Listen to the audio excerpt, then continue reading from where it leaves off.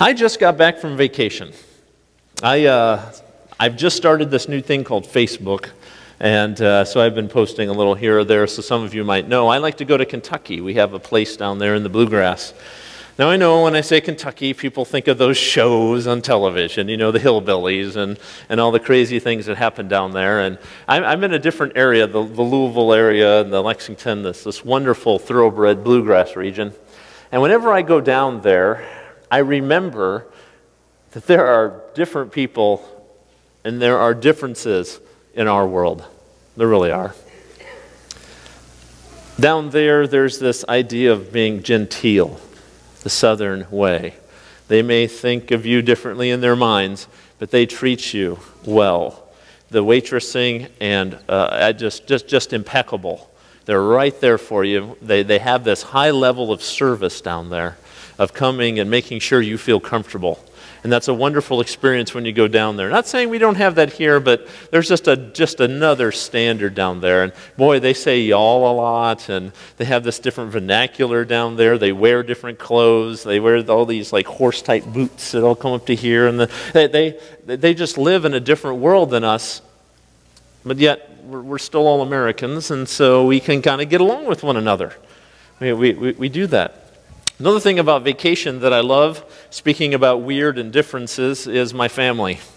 Um, when you have five people in a car for 12 plus hours each way, they say that crisis creates bonding. And after 12 hours with my kids, we are bonding so well together because each one of them is so different and unique and they have a spirit about them. My daughter is called Trinity and that's what she is. She's three kids in one and she just so, at any rate, I love going on vacation. It shows me the differences in the world, and I begin to appreciate that in my family and the world around us. When it comes to our faith, it's the same way. All of you people in this room are different. And if you don't mind me saying, y'all are weird. If you don't believe that, give me five minutes with each one of you. You're different. You are just different.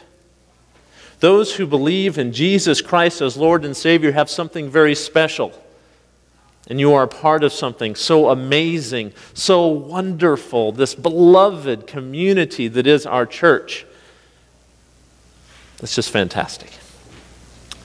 But it wasn't always that way. Let's bring up the past slide here.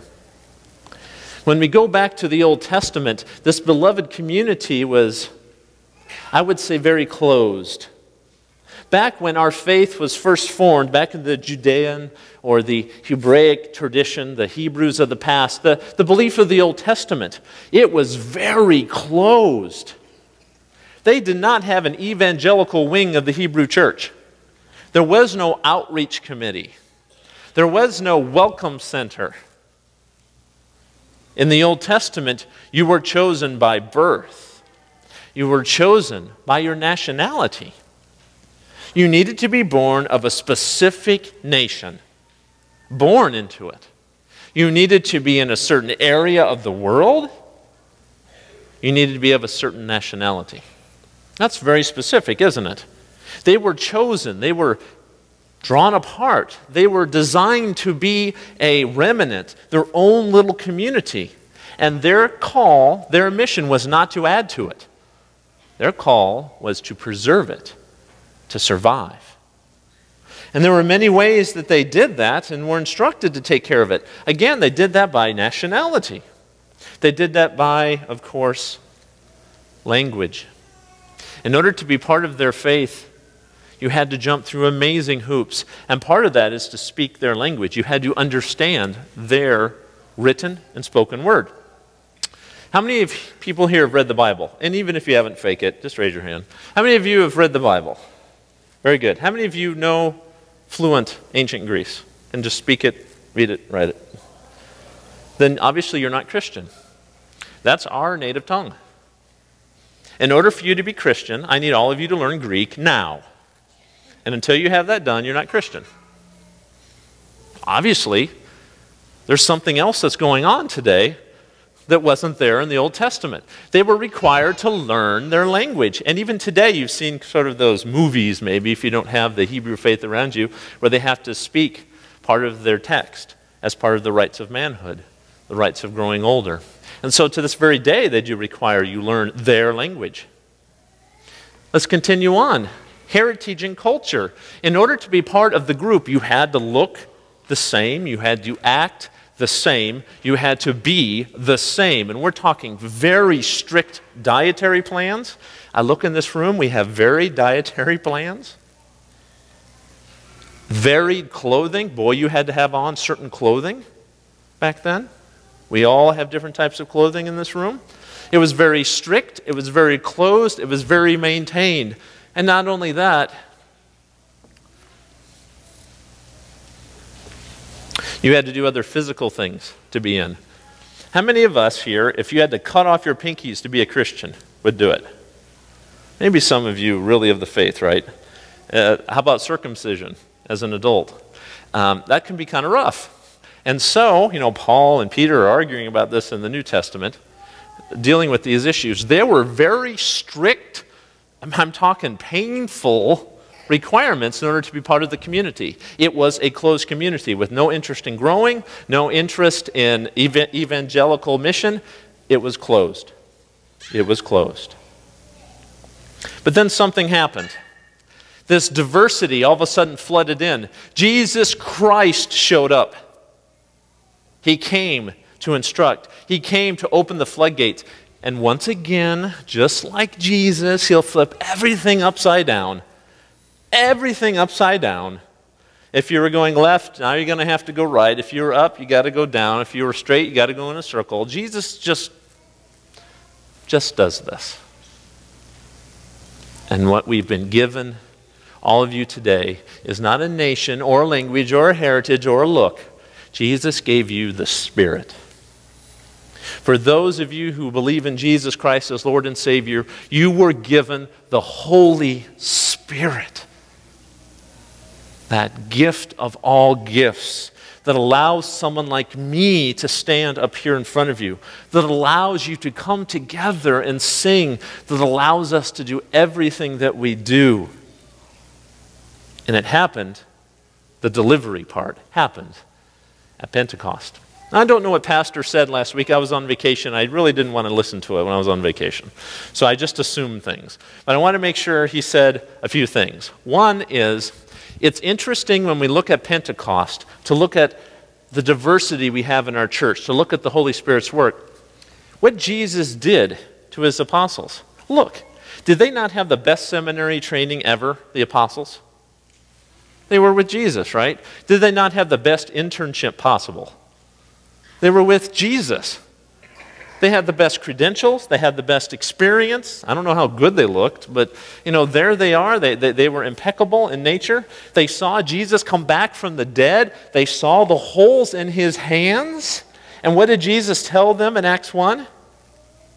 You are not ready. Don't go anywhere. Don't say anything to anyone. Don't move. After everything they had done, Jesus looks him in the eye and says, Don't you dare go out that door. Don't move. You are not even close. Kind of makes me feel better a little bit. Um, knowing all everything they went through, they, they, they weren't ready either. There was something that they needed, something so important that even the apostles, with everything they had, their credentials, their experience, couldn't do. And that was go out the front door. And so we catch up with these apostles in a room, dark, doing what closed communities do, right? They shut the doors, they hide away. Don't know where they are, they just meet. So they are in this room, and that's where we catch up to them as we deal with the Pentecost. Acts 2. Now, when the day of Pentecost arrived, they were all together in one place, and suddenly they came from heaven a sound like a mighty, rushing wind and it filled the entire house where they were sitting. And divided tongues of fire appeared to them and rested on each one of them. And they were all together filled with the Holy Spirit and began to speak in other tongues as the Spirit gave them utterance. Now there were, now there were, now, oh, by the way, before I continue, don't worry about that fire thing. Only a few of us get burnt. Uh, most of us are fine. Gonna... Now there was dwelling in Jerusalem Jews devout men of every nation under heaven. There were many people. This is like ground zero, New York. This is from every nation Canadian, Hispanic, um, European, Asian, whatever nation you want to think about, they are in Jerusalem. This is a happening epicenter of the Middle East. They are there. All these different cultures are present in their language, in their customs, in their cultures. They are all present. Now they were all dwelling here, and at this sound, the multitude came together.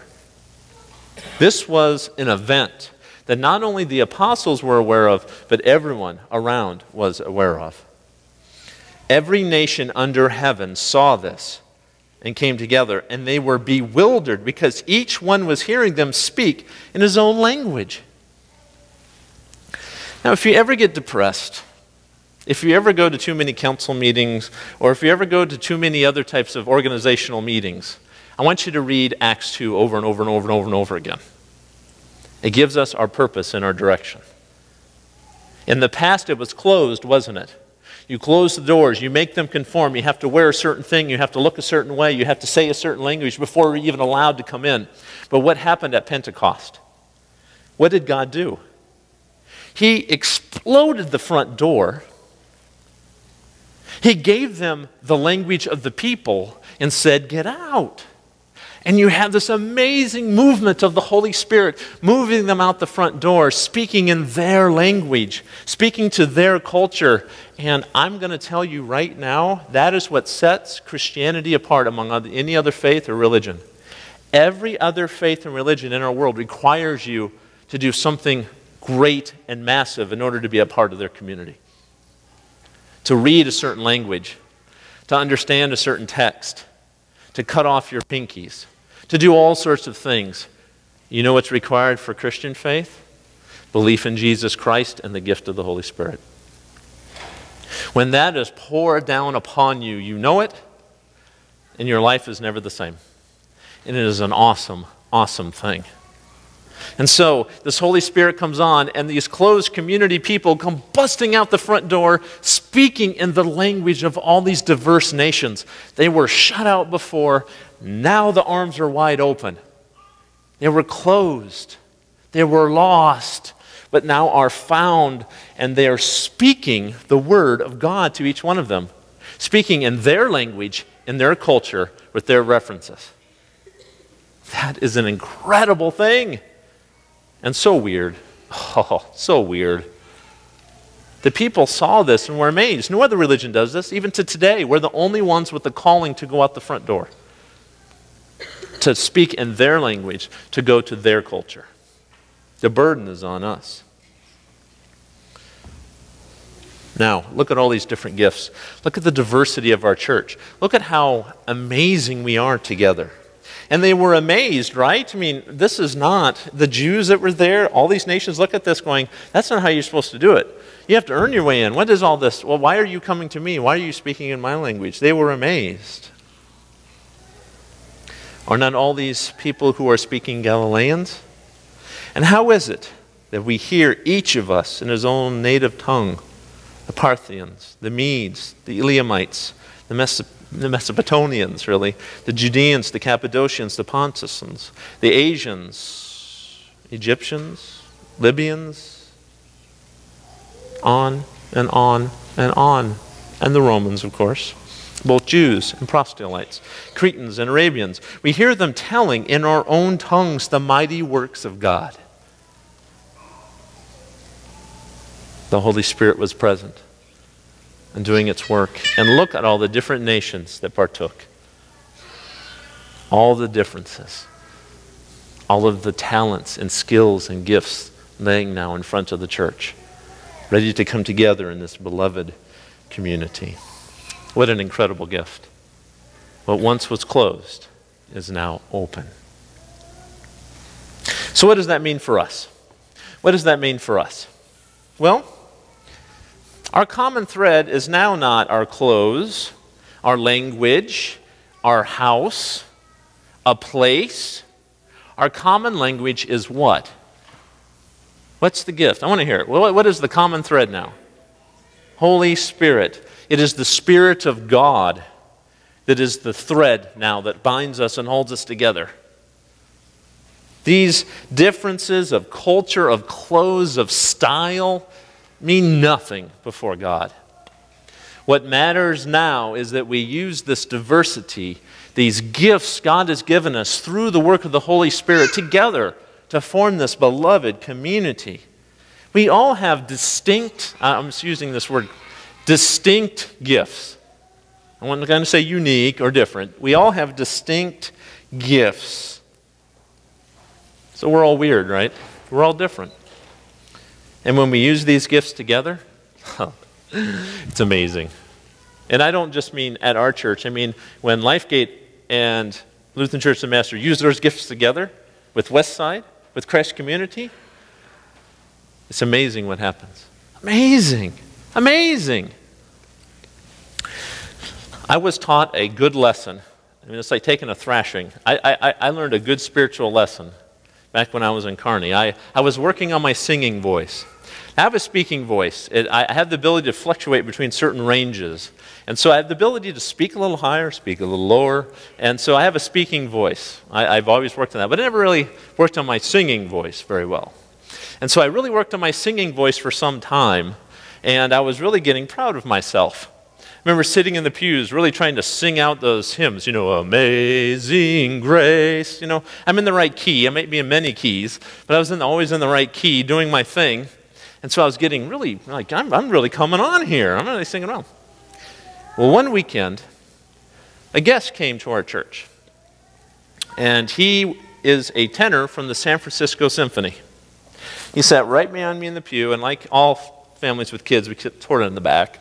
And so we're kind of in the back to the side, and this tenor shows up. He was a, a child to one of the, the parents there. So he comes in, and we start singing the first hymn, you know, Amazing Grace, and just kind of, yeah, I'm into this. I'm going to hold up the side of the church, you know, kind of do my thing. He waited till the second verse. Now, I know why he waited. The minute the second verse began, this tenor, if you don't know what a tenor is, that's someone who sings really, really well and really, really loud, started singing. Everyone to a man and woman stopped singing and turned around as he began. And there I am standing there, singing my heart out. Everyone's looking at me. Now, I almost wanted to hide them and say, yeah, that's me. They were just built. Everyone stopped singing and turned around to see what was the matter. You know, what is this? He continued to sing and sing. And you know what the church did as soon as they figured out what was happening? They turned back around and started to sing the loudest that they have ever sung before. I've never been in that church where they have sung louder than when he was there. This man, who had the specific gift, who very few of us could earn money doing, came into the church with what God had given him and started to belt out. And everyone in that room was blessed. And we all sang our hearts out because no matter how large you were, you weren't going to compete. And we just sang and we sang and we sang and we sang until we were hoarse. That's the diversity that we have. That is what's sitting in this room, and it's so exciting. I see people looking at me right now. And I've spoken with many of you, and I see those gifts of the Spirit rattling around in there. And that is now our calling as a church. We have all been given distinct spiritual gifts, and our differences are not just to be tolerated anymore. Well, that's their group, that's our group, that's traditional, that's contemporary, that's blah, that's blah, blah. What holds us together now is the work of the church to explode out that front door, to go where people are. Not only is it just tolerated, but it is required now. Through Pentecost, it is required that we come together with all of our wonderful gifts and become something that God has planned for us. I see that now looking back at me. I'm really excited about it, to be quite honest. I know each one of you has something in you. And some of it I've seen, and some of it I'm just watching build up, the Holy Spirit do its thing. And we as a church, we help each other do that. We walk each other along the journey. We suffer one another. We coach one another. We, we do 40 days of inspiration together. We, we go and find out what those spiritual gifts are, to learn what those are. Because I got to tell you, when you're doing those gifts, it's an awesome thing. And over time, this may happen, okay? I'm, I'm just saying, if the fire's on you enough, I don't think so. But it is a wonderful thing, and that's where our beloved community comes together. And the diversity that is all nations, all people, all styles, all whatever.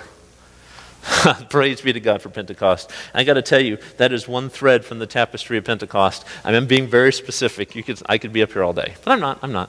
My time's up.